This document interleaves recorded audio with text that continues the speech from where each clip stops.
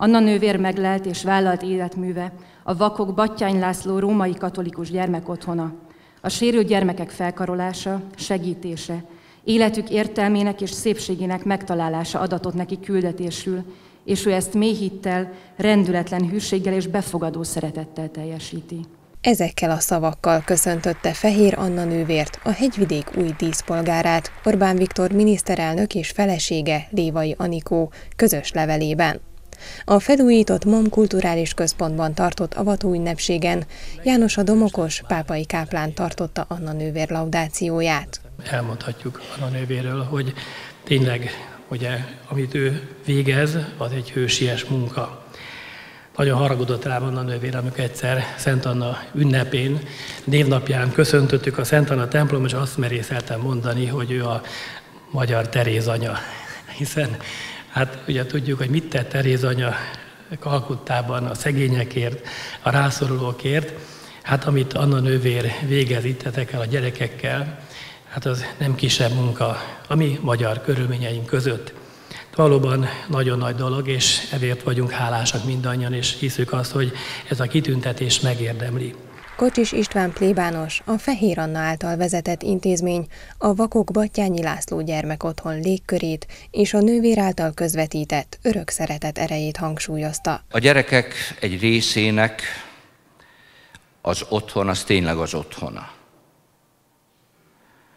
És az otthon meg az intézet között van egy óriási különbség.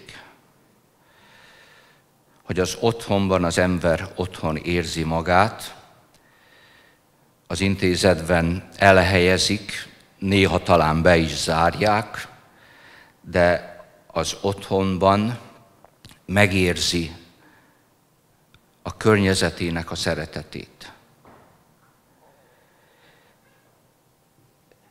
Ez a szeretet az Anna életében biztosan nem valósulhatott volna meg anélkül, hogyha ő életét teljesen nem szenteli az Isten szolgálatára.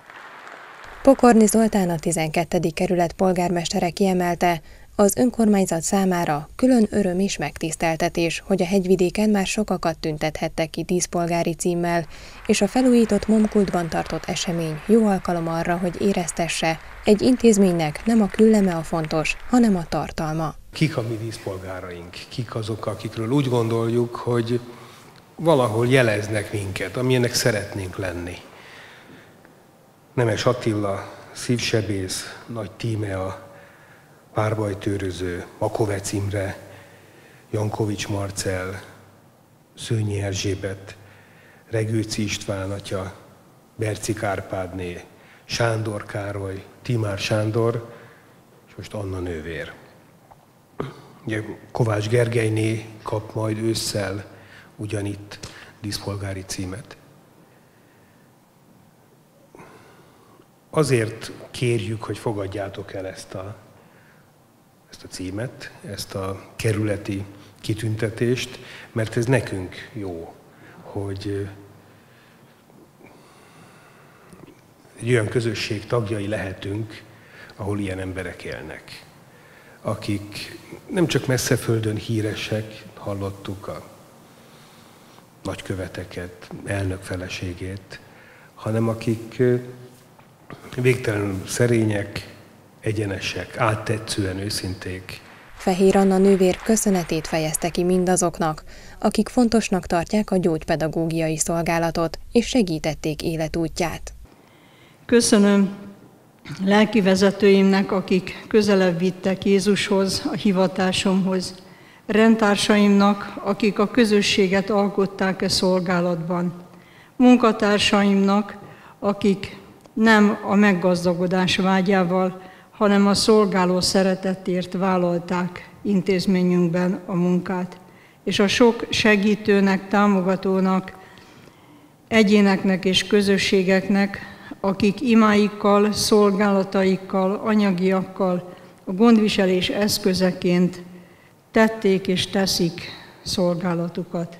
A 2011-ben hegyvidéki díszpolgárrá avatott Fehér Anna 1947-ben született Vértesacsán. 1959-ben költözött Budapestre családjával. Diplomát 1979-ben szerzett a Bárci Gusztáv gyógypedagógiai tanárképző főiskolán. Hét évet dolgozott a Vakok iskolájában, ez idő alatt titokban szerzetesi fogadalmat tett. 1982-ben vezetésével megalakult a látássérült gyermekek Szent Anna otthona a Battyányi téren, ahonnan az otthon 1989-ben a 12. kerületi Mátyás király útjára költözött.